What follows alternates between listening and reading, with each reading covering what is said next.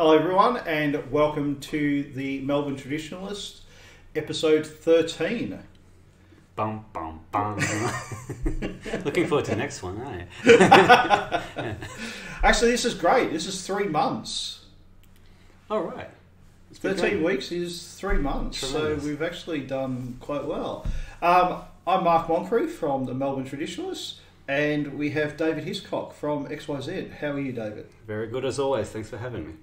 Now, at the weekend, we didn't really publicise it on the podcast, but um, on it was certainly on my site.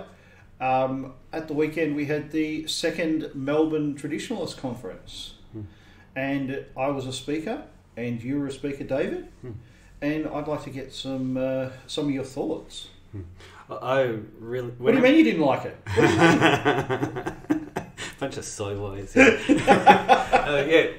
Uh, whenever I whenever I meet people in Melbourne traditionalists, I'm just really impressed. It's a good bunch of young men who are well educated and understand uh, where our country is placed and where it's going, and have realised that they we can't get something done through the usual channels. We can't um, influence the pol- major political parties in this country anymore, Mhm. and so we've got to work together if we want to restore tradition, if we want to restore our nation.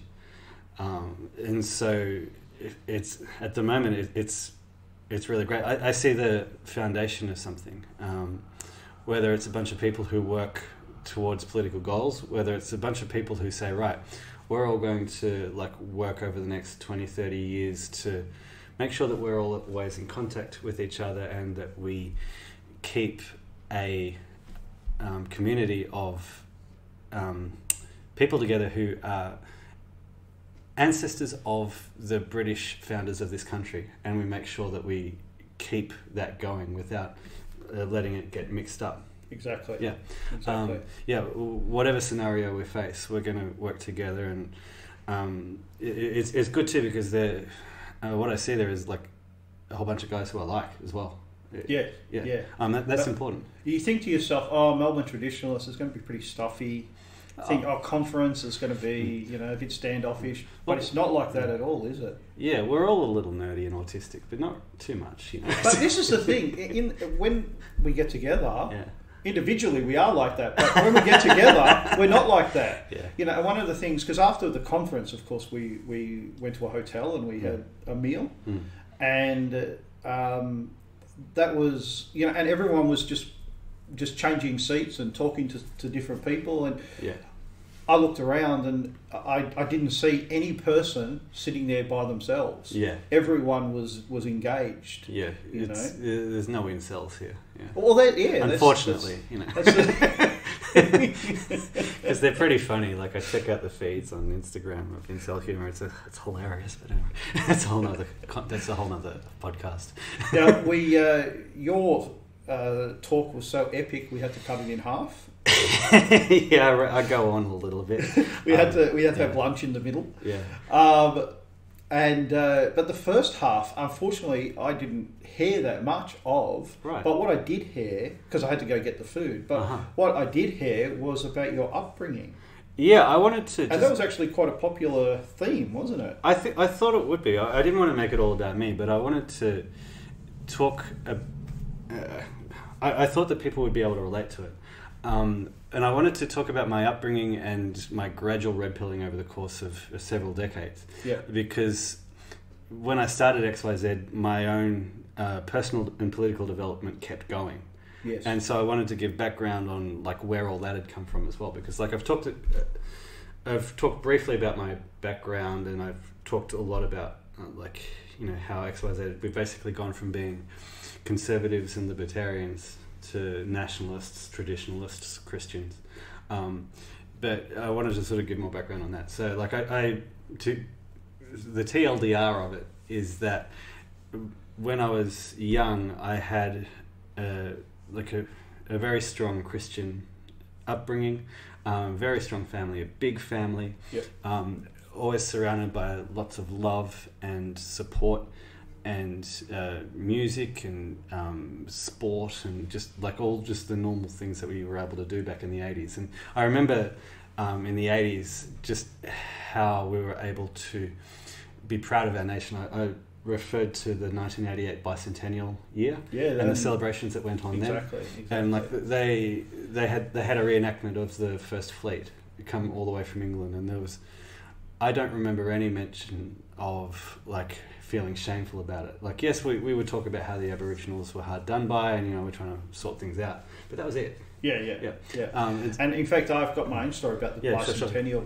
When the tall ships, because the tall ships, as you know, they Mm. assembled in England. yes, So these are all um, sailing ships. yes, Uh, and they sailed from England to Australia. Mm. And in real life, they, they went through the northern route along northern Australia and then came down to Sydney Cove. hmm But for the bicentennial, because most people live in the south, they actually came to Perth, to Adelaide, Melbourne, all right. and then to Sydney, where they finished. And it wasn't was- authentic. They should do that again. That's not. and um, some people wore modern clothes too. Yeah, Terrible. yeah. What's going on? but- They- but- I, I guess I bet they had modern medicine on board too. Gee. But I, I worked in a high-rise building on St Kilda Road, All right. And when they sailed into Melbourne, the entire bay was just filled with ships Yes. and boats. Yes. and because all these people had said, "Hey, let's go out and meet the meet the fleet," Mm. you know, Mm. and it was truly a magical thing to to witness. Yeah, yeah, and that was thirty years ago. It was thirty-one years ago. Yeah, yeah. That, that's how much it's changed. Because if they tried to do that now, it'd be re- met with uh, protest barges. yeah, Yeah. yeah. Yeah. Now, um, Uh, so, so just just to um, go back to what I was talking about. So then I, I contrasted that with then in my uh, adult life, um, I rejected the Christianity and I was cut off from my family partly because um, there was a divorce and you know we all kind of splintered Yeah. as well. But partly it was my own doing and, and a lot of it was just through my own selfishness because I wanted to do what I wanted to do.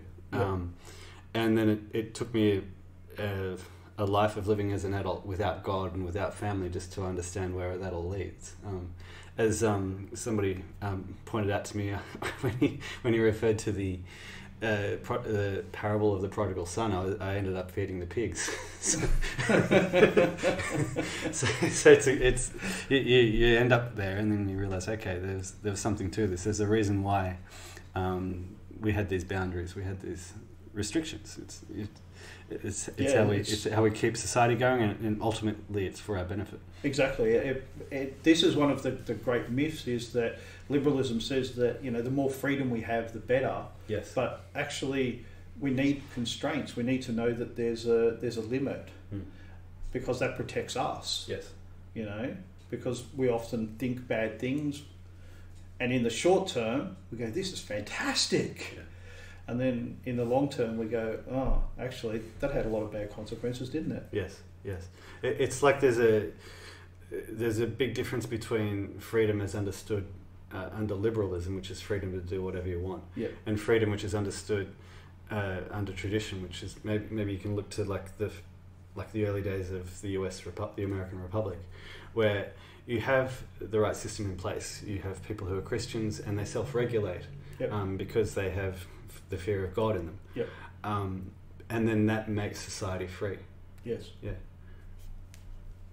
Now, um, what I want to talk about is um, Sir Robert Menzies. Beautiful. Now, you have a personal connection to the Liberal Party, don't you? Yeah, uh, my great grandfather was the sports minister during the 1956 Olympics. Um, so Wilfrid Kent Hughes. Um, yeah. And uh, so your family, when you were growing up, they Mhm. were very liberal, Uh, yeah. Uh, as in liberal supporters, I should say. Absolutely, yeah. It's it's always been a liberal supporting household. Although my, my grandmother, his daughter, uh, grand, my grandmother, his daughter, yeah, no, daughter-in-law or daughter, I forget. I should know that stuff. That's Yeah, terrible of me. That's actually terrible. Um, she she she she actually said to me, "Oh, I've, I've voted for the other side occasionally when necessary." So I'm interested to know when. But um, yeah. Um, but yeah, very very much liberal supporters. Um, so it was a really big deal for me to, you know, move away from the from the Liberal Party. Yeah, yeah. No, I appreciate that. Um, I have uh, the book uh, Afternoon Light, which I talked about with Mark Richardson, hmm and uh, Sir Robert Menzies wrote this in 1967. She's his daughter. I just remembered. I just did the thinking. Yeah. Oh, good. Yeah. yeah. And uh, so he, you know, a lot of people make assumptions about the Liberal Party Yeah. and what it believes and, and so forth. And um, I, uh, I wanted to read out some extracts. Um, sorry, I've, uh, I've misplaced where I am. I'll come back to that. I can give us some thinking music in the meantime. why, why don't you talk while I, uh, I, I, I find my place? Yeah, sure. Uh, just um, what one more comment on the um, on Melbourne traditionalists. I I thought it was a good number of people that I saw anyway. It was between twenty and thirty, and what I found that working with people on the right or just opposed to the left, it's it's like herding cats um, because you know we're just the way that we are, um, and so I like the idea of working in cells or groups that aren't too big. And as long as you have these cells or these groups, all sort of we, we all know who we each other are, um, and we work to a certain extent. Like you have these connections, but there's enough separation that we can all concentrate on our own areas of speciality Yep. without getting in each other's faces all the time and rubbing each other up the wrong way. Um, I think that's a good way to organise it, kind of like a, a cluster or a cloud, sort of all heading in the same direction. Absolutely, and actually, one of the things that one of the great strengths of the left is they've got all these sticky fingers in all these different pies, Uh huh. and that's one of their great strengths because they can, you know, when one thing's failing, they can push it their agenda somewhere else. Yes. Yeah.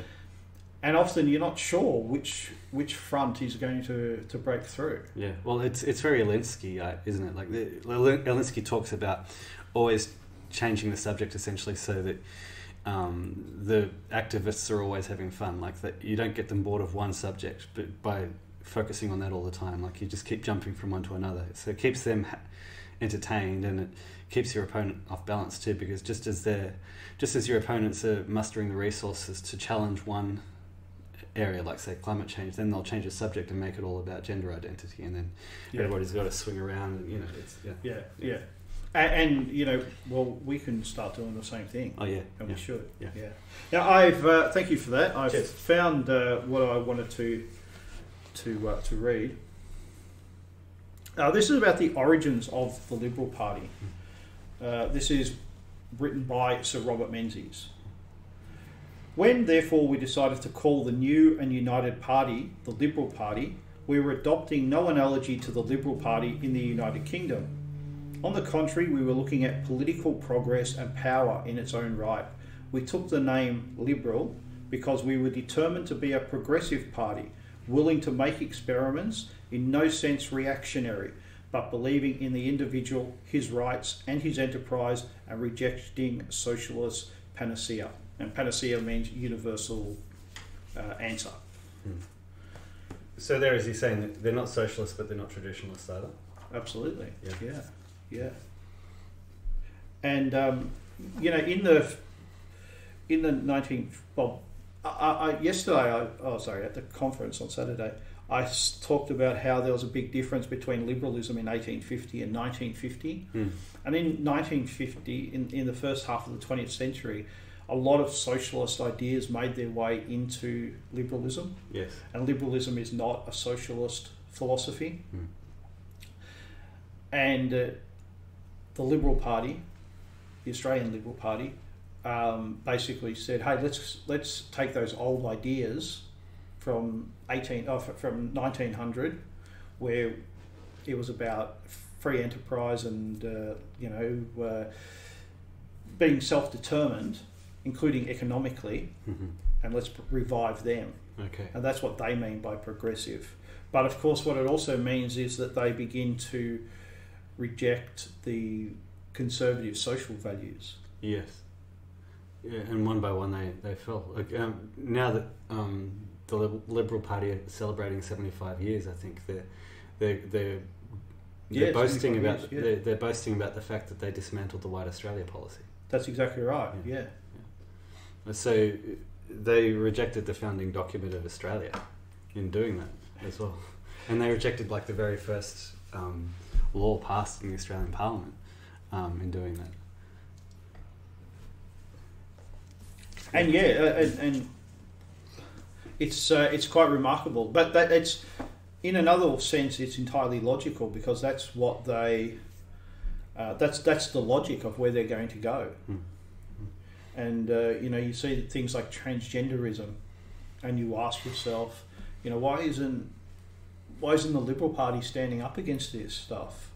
And it's because people who are transgender, who think that they can choose whatever sex they want, that's actually what liberalism wants Mm. for people to be able to choose, to have absolute freedom. Yes, well, as, as I was finding out the other day, like one of the founding thinkers of liberal liberalism was talking exactly about that in the early 1800s. Yes. Uh, was it Shelley? Shelley, yeah, Yeah. The, the the poet Shelley. Yes. Yes.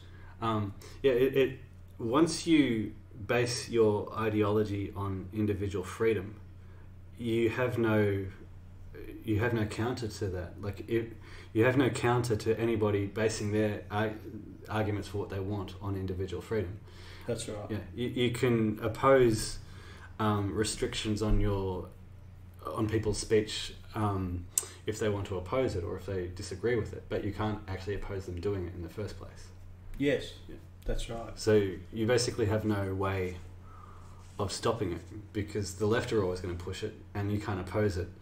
And so all you're ever going to be doing is fighting a rearguard action, like trying to And say, oh, pe- people should be able to at least disagree with it. And That's you- right, And, yeah. And and you're we likely see to this- lose that too. we see this with uh, with homosexual marriage. Yes.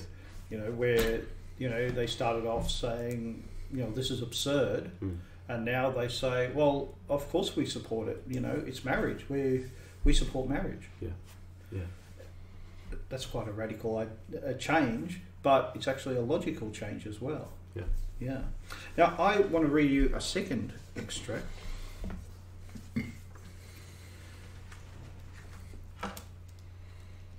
He's talking about um, the South African issue, so apartheid and Rhodesia. Um, and these all went to the United Nations and they were debated in the United Nations, they were debated within the Commonwealth. Um, the United Nations was not created to provide means by which a group of nations can, without consent, interfere, if necessary by arms, with the domestic affairs of another country. Quite the contrary. But should this deplorable process be encouraged, we may all find ourselves and our autonomy put at risk in the presence of a well organised mob sentiment. I will take two possible examples. Throughout its history, the Commonwealth of Australia has had, and both sides of the Parliament have supported it, a restrictive immigration policy designed in substance to build up a homogenous population and to avoid the creation of internal racial problems of a kind which are to be found in the United States and in South Africa, and are indeed beginning to emerge in Great Britain. Immigration policy has always been recognised to have a domestic charter, correction, character. It is one of the attributes of sovereignty that any nation may determine for itself how far and on what principles other people may enter or become citizens. Hmm. You know, when I read that, I thought of a few years ago in Melbourne, I think two years ago, where in Federation Square there were gangs of African youths fighting against Polynesian use. Yes. and the only white people Don't, there don't you mean were the African Australians against Polynesian Australians? the- yeah, yeah, of course that's what I meant. Yeah. Um, and the only white people there were the outnumbered police. Yes. Um, and the maybe police, maybe this means that we need more Africans and Polynesians in the police service because you know these people need people who look like them as authority figures because otherwise they won't respect them. Oh, sorry, what was that, David? You're leaving the podcast. Oh, that's, that's so sad. That's-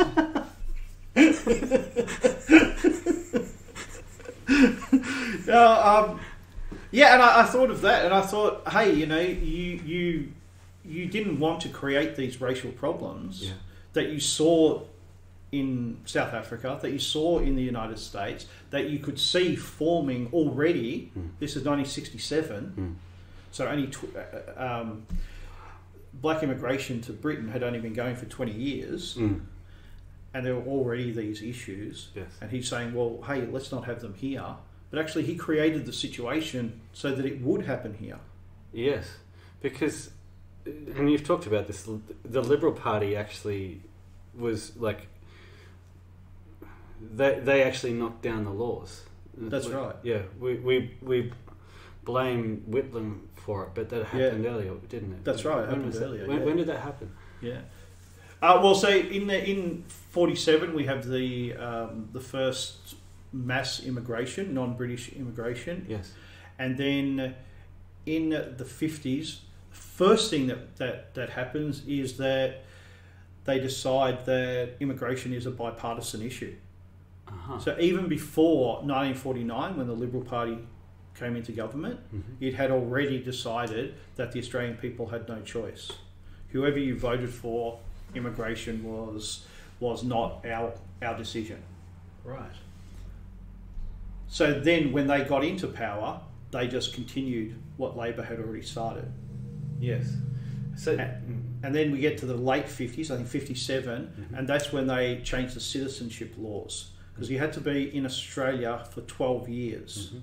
And then they moved it to five, and now I think it's three. Mhm. Um, and then in 67, again, it's still the Liberal Party. They the first non-European peoples that were brought in were Turks, Uh-huh. and then of course um, it just continued. And what Labor and if, if in 67 effectively uh, the White Australia policy ended, Mm. but it wasn't until Whitlam that which is 72, end of 72, really start of 73. Um, when he comes in and, and and makes a really big deal out of it. Yes, of ending the White Australia policy. Yeah, yeah, because the Labor Party love their whole symbolic um, acts, which don't, uh, which sort of maybe put the final nail in the coffin. But it seems there's a pattern all throughout our modern history of the Liberal Party saying one thing but then betraying us. Um, Oh, on the other hand. absolutely. because uh, John Howard, yeah, he stopped the boats, but he brought in the plane loads. exactly. And hundreds of, of thousands of people every year Yeah. flew into Australia, Yeah. and uh, it was all a big thing about hey, we stopped. 2,000 people coming in by boats. Yeah. And the thing is, people it's agree with like that. the- people want the boats to stop, Yes. but it's that sleight of hand. Yes.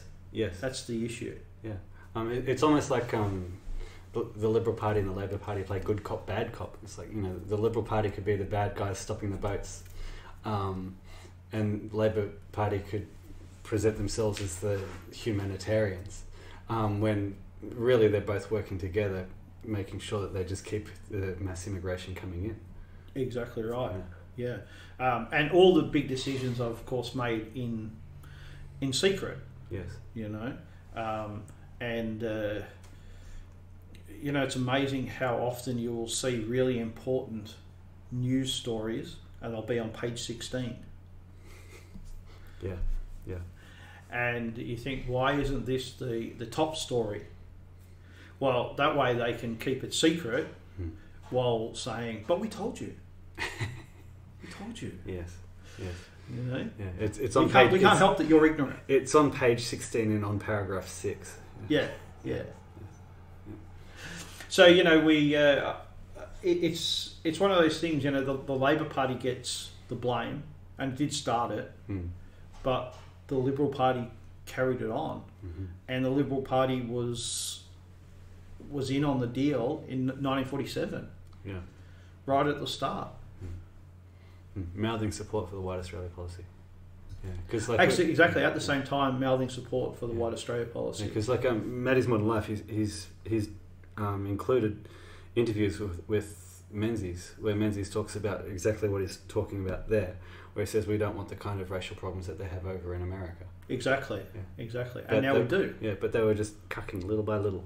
Yeah, Yeah. yeah, and you know, it's it's the uh, one of the things I always ask about liberals, and and I don't mean members of the Liberal Party. I mean all those who believe in liberalism. Mm-hmm. Is are they so stupid that they can't work out what their philosophy actually leads to, or are they so evil that they understand and they're willing to do whatever. Mm. Well, it depends on the individual. There's certainly people in category A. There's certainly people in category B. I think the I think category A is the vast majority. Category B, you're always going to have a few who know exactly where it's going. Yeah, yeah, yeah. yeah. And it's interesting. I've had a few conversations over the years with people who, you know, they seemed a bit. They, they seem reasonable, Mm-hmm. and then you know you get into it and you realise, hey, they they know they're definitely in category B. Okay. They know absolutely what they believe, and they know the consequences of it, and they love it. And uh, Some people just want to watch the world burn, don't they? Exactly, exactly. You know, they're the children who like to break other children's toys. Yeah. You know, that's what they like the best. And they pretend that they'll get to a stage where they can rebuild. Mm. What are you going to rebuild with? Mm. Yeah. Nothing. Exactly, nothing. Nothing. Mm. Yeah. Now, I think we, we might leave it there. Yeah. Brilliant. I think it's been a good good talk. Thank you, David. Yeah. You're very welcome. And where can people find out about you? Uh, come straight to our website www.xyz.net.au. Uh, Facebook is dying, so just get off that as soon as you can. And I'm Mark Moncrieff, and to hear or to read more of my thoughts, you can go to Upon Hope. Thank you, David. Thank you, everyone. Let's have a good day.